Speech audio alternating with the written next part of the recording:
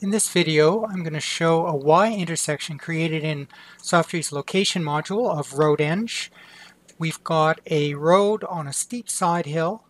It's actually starting at a steep uphill grade and then turning over and going downhill. And if you look in the 3D window, you can see we've got a, a very steep side hill here. And um, what I want to do is create another road. Let me just display it which branches from the current road and continues on up the slope at a, a, again a fairly steep grade.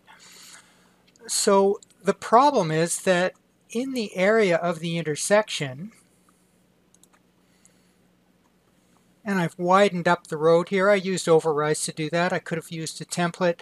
Uh, anyway, you can see that the cross section here starts at the regular road width and then as I go into the intersection zone I've increased the road width on the left hand side ready for my branching road to continue.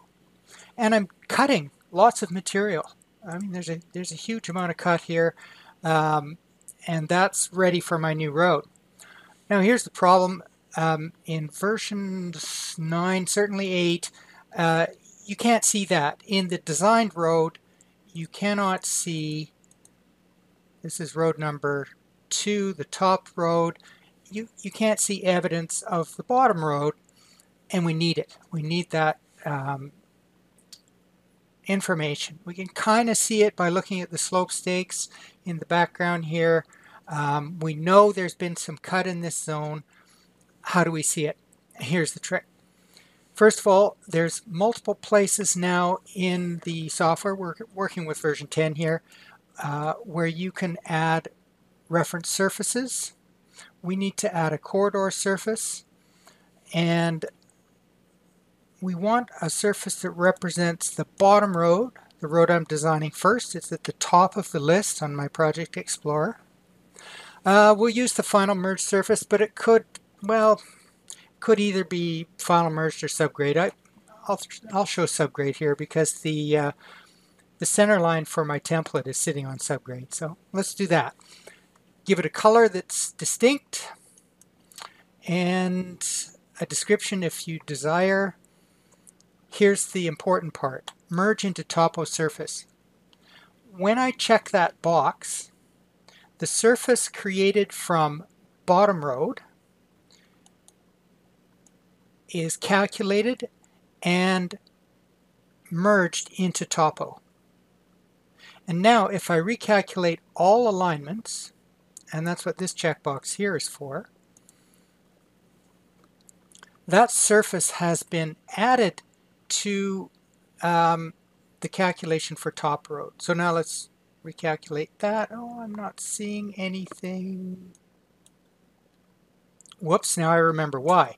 The section window needs to display that new surface. So section options, turn on reference surfaces, and make sure the new surface we created from bottom road is included.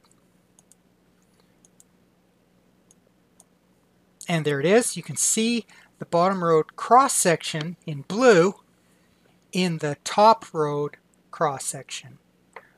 And you can also see that there's no cut here.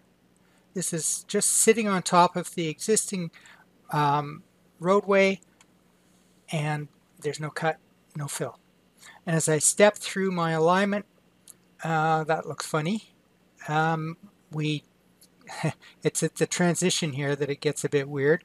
But once we're past that transition, you can see that we're now into uh, cutting the um, excess material.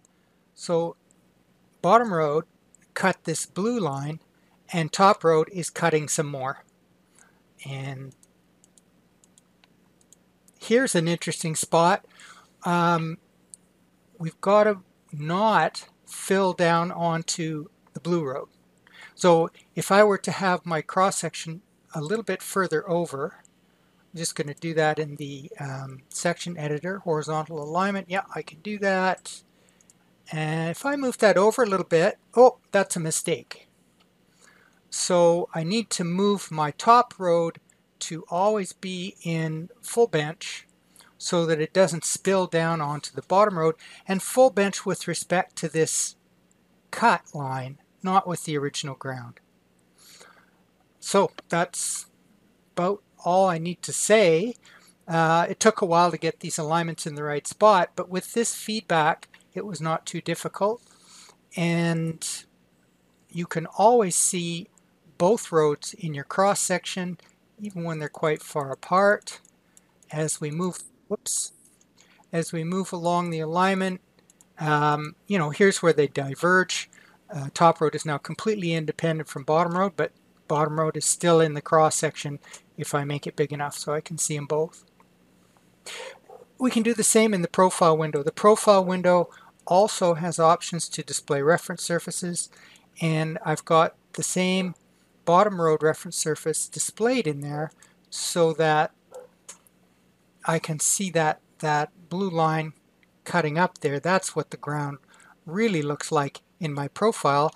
And here's where I need to match it because in fact it should be kind of something like that right? That's that's my new road sitting right on top of the old road. And when I look at a cross section in there you can see they are indeed coincident now let's take a look at the 3D window and see what those surfaces look like there okay so there's my, my 3D you can see the uh, surface from quite a distance. Uh, if I zoom in a little bit, we can see the uh, reference surface that I created for road number one, the bottom road. Now I'm going to add one for the top road. Before we access the terrains and surfaces from the options dialog box, you can also access from the section window options and even the 3D window options. Um, terrains and surfaces, so I don't see the surface I want, click on add. We want another corridor surface. This time we want it to be top road and again I'm going to use the subgrade material to be consistent and I need a different color to make it distinct. Uh, that should be all I need to do there. And now we can choose uh, the color for each of these for display. They're all displaying triangles. That's perfect. Let's see what it looks like. So there it is. Now all of these are transparent so we can see through them. Um, might be a little more clear if I took out the topo. And there's the two roads. And if you notice as I rotate through here that actually the top road is cutting the bank back some more. So we're looking through the bottom road cut to see the top road.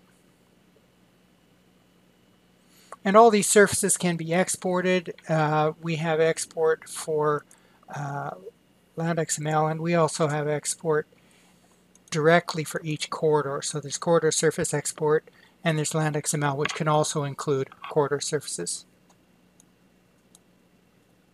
Thanks, that's all I wanted to say about reference surfaces and displaying one road in the cross-section profile 3D of another road.